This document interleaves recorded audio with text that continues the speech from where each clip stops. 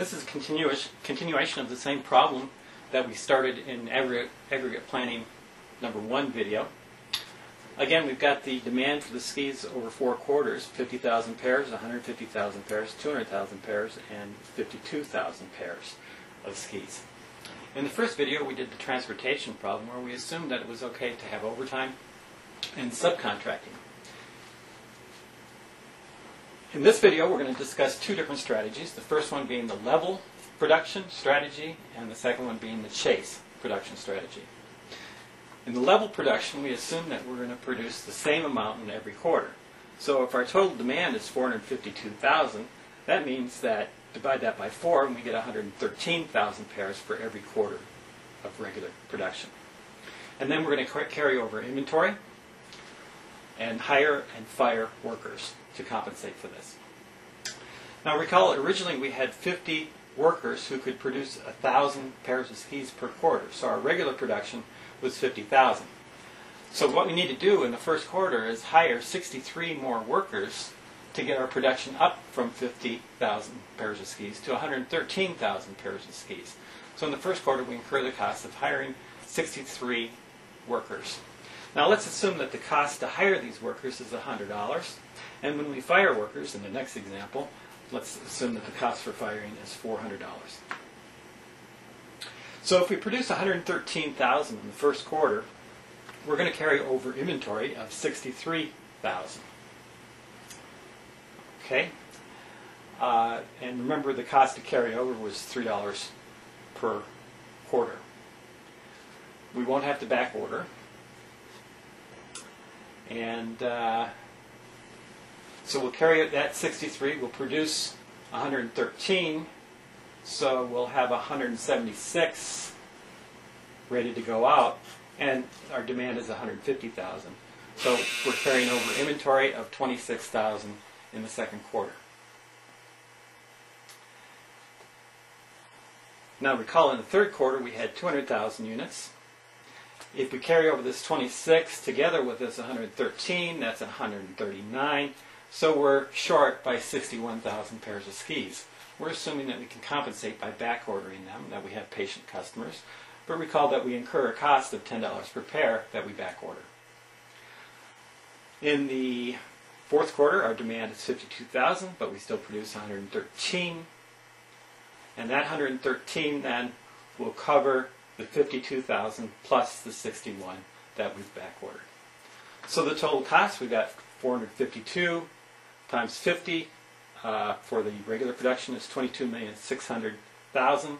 We've got 89 times 3, uh, 89,000 times 3 for the inventory that we're carrying over.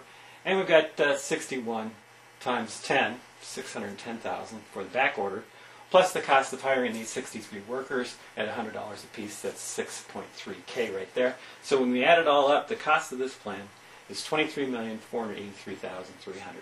Again, that's with level production we're assuming no overtime, no subcontracting, and all regular production at $50 per unit.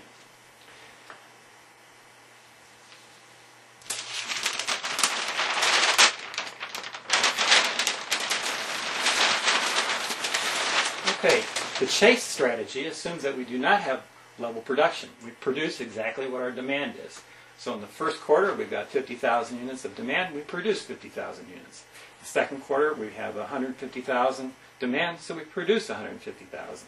Third quarter, we have 200,000 worth of demand, so we, we produce 200,000. In the fourth quarter, we have 52,000, and so we produce 52,000. Notice we're chasing that demand by producing what the demand is. Thus, our inventory for each quarter is zero. So, um, in the first quarter, our regular production, we had 50,000 workers, or 50 workers that could produce 50,000 of regular production. So we don't need to hire anybody in the first quarter. We don't need to fire anybody. In the second quarter, our demand is 150,000, so we need to bump up the number of workers and hire 100 people who can produce 1,000 pairs of skis each to get our production up to 150,000. In the third quarter, our demand is 200, so we're going to produce 200, so we need 200 workers.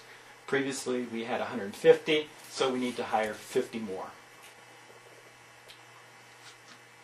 In the fourth quarter, we only need 52,000 pairs of skis.